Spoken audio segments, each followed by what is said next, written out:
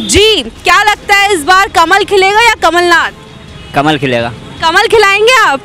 BJP आएगी और क्या? है बीजेपी। ये तो हर पाँच साल का नियम है ये तो। पहले ये वादे कर लेते हैं फिर बाद में दूसरा चुनाव होगा फिर वादा कर लेंगे। तो आदमी जवानी से बुढ़ा हो जाता है और वादे कभी होते नहीं पूरे। बाजी का भी बोल नहीं सकते कांटे की टक्कर हो सकती है दोनों पार्टी की। टक्कर है दोनों पार्टियों में हाँ। अभी तक तो बहुत कम विकास हुआ है इस तरफ़। लेकिन विकास होना चाहिए ये बात है कोई भी पार्टी आए हो। लेकिन कांग्रेस भी तो बहुत दावे कर रही है ना कि अगर हमारी सरकार बनती है तो हम ऐसा तो बनेगी जब ना। मतलब आप बनने ही नहीं देंगे। तो बनेगी जब ना। बीजेपी हो या कांग्रेस हो मतलब कार्य मतलब जो प्रगति से चलना चाहिए वो नहीं हो पा रहा है। ताश तो क्या है कि जनता के ऊपर है। जनता जनार्दन है ये तो। राजनीति है ऊँट कब कड़कड़ बदले कोई भरोसा नहीं। नमस्कार मैं श्रुति आप देख रहे हैं सत्य खबर और अभी हम मौजूद है उज्जैन दक्षिण में जहाँ पर बीजेपी और कांग्रेस का जो एक कड़ा मुकाबला देखने को मिल रहा है और इसीलिए हम यहाँ पर एक चाय की थड़ी है वहाँ पर आए हैं और यहाँ पर काफ़ी सारे लोग मौजूद हैं। तो आइए लोगों की राय जानते हैं लोगों का ओपिनियन जानते हैं कि इस बार लोग किसे देखना पसंद करेंगे। जी क्या लगता है इस बार कमल खिलेगा या कमलनाथ? कमल खिलेगा। कमल खिलाएँगे आप? अच्छा क्यों कमल ही क्यों?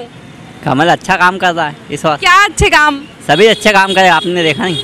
सारे अच्छे काम। हैं बिल्कुल। अच्छा उज्जैन दक्षिण की हम बात करें तो क्या लगता है इस बार कौन बाजी मारेगा? मोहन यादव। मोहन यादव क्या खास बात है उनमें ऐसी? अब इतने साल से कर काम वो भी। अभी दो बार बने हैं विधायक अब तीसरी बार वही आएँगे ना। तीसरी बार भी बने लेकिन परिवर्तन भी तो ज़रूरी है परिवर्तन ज़रूर है बाकी फिर भी जो है जो कर रहा है विकास उसको ही देखेंगे नहीं लोग उन तो। जो विकास कर रहा है बिल्कुल। जी क्या लगता है इस बार आपको क्या होगा? वही है। वो ही कौन? मोहन यादव। आएँगे मोहन यादव क्या खास बात है ऐसी मोहन यादव में कि भाई मोहन यादव ही इस बार जीतेंगे? अपन जाते हैं किसी परेशानी को लेकर मतलब सम- सुनते तो हैं समझते तो हैं बात ये है। लेकिन अगर कांग्रेस की बात करें तो कांग्रेस भी जो है इस बार कड़ा मुकाबला दे रही है।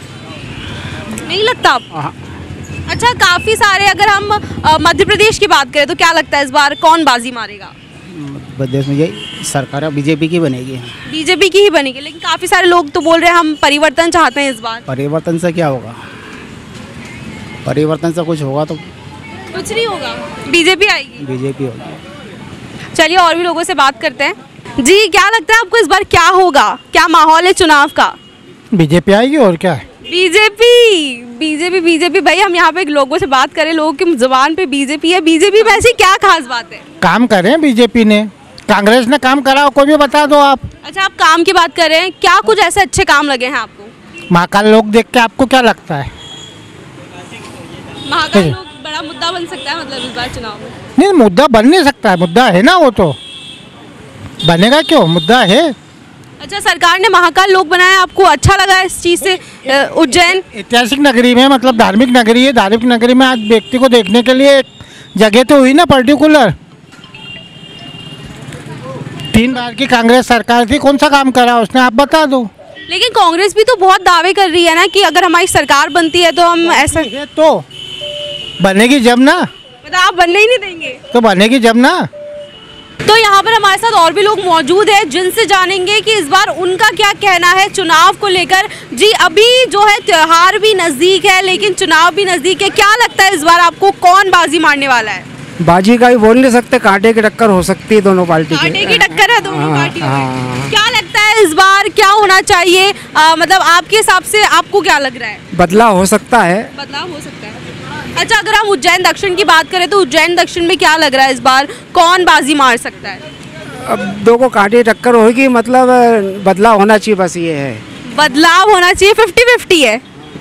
जी आपको क्या लगता है क्या होगा इस बार? फिफ्टी फिफ्टी होना चाहिए। अच्छा बीजेपी कांग्रेस में बहुत टक्कर चल रही है। अगर हम उज्जैन दक्षिण की बात करें तो मोहन यादव में और जो कांग्रेस के उम्मीदवार है उनमें तो क्या लगता है इस बार किसका पलड़ा अगर एक इंसान का हो किसका भारी? अभी कोई कह नहीं सकते निश्चित किसका क्या है।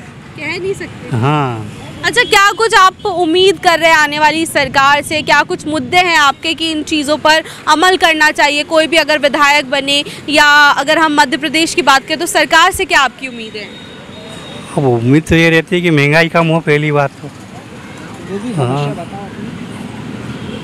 और जो है इधर का दक्षिण क्षेत्र का विकास हो दक्षिण क्षेत्र में। अच्छा दक्षिण क्षेत्र से आप आते हैं तो अभी तक क्या क्या विकास हो चुके हैं यहाँ पर? अभी तक तो बहुत कम विकास हुआ है इस तरफ़ लेकिन विकास होना चाहिए ये बात है कोई भी पार्टी आए हो। क्या कुछ आप देख रहे हैं विकास की आप बात करें तो क्या कुछ चीज़ें हैं जिनका विकास होना चाहिए आपको लग रहा है? पहली बात तो ये जैसे घो घोषणा हुई है पुल बनने की तो ये पुल अभी तक बना ही नहीं है। ये विकास का है इसका हिस्सा तो वो बनना चाहिए वो मतलब जो भी आए वो यहाँ का जो भी घोषणा की है उसका विकास करें। हाँ। जी यहाँ पर और भी हैं। जी क्या लगता है इस बार आपको कमल या फिर कमलनाथ?